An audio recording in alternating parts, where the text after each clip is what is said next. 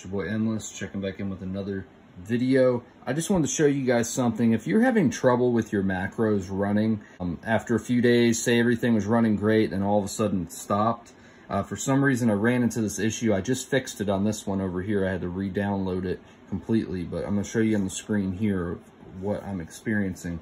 So look, this has been enabled. Everything's been allowed. It's been working for a long time, no issues.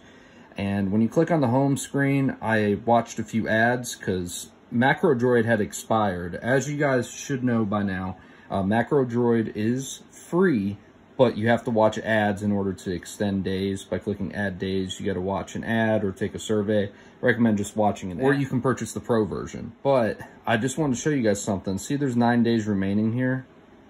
I'm going to go back and I'm going to clear the catchy and everything and watch it's going to reset the seven days.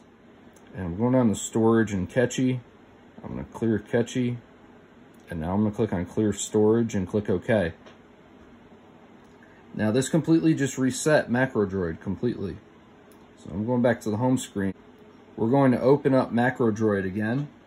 Watch, it's going to open like as if it was your first time installing it. All your settings are going to be missed, are going to be gone. It doesn't seem to save it. And look, MacroDroid Pro, only $6.99. See, seven days. It resets it. So if you don't want to watch an ad and you're running into issues, just clear those two things and just start over completely. Next, what I'm going to do is I'm going to go download the macro from the PayUp website. This is where the script is. Uh, there's also a, a link down in the description below if you want to watch how I set this thing up. It's basically, it'll go into full detail. I know I'm kind of flying through this, but click on open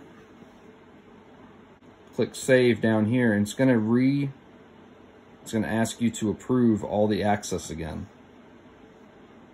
So basically for some reason it just I don't know if the script updated or what, but the script wasn't working after a couple days of use and it just so happened it was around the time when uh, MacroDroid had to be renewed.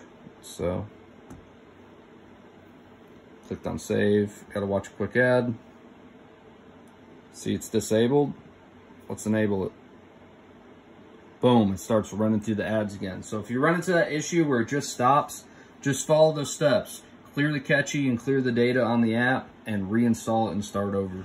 Also, don't forget to hit watch video for your first one. So if it's just sitting there, just popping up constantly, hit watch video on one and do it manually one time. Let your boy Endless, like, comment, subscribe. Peace.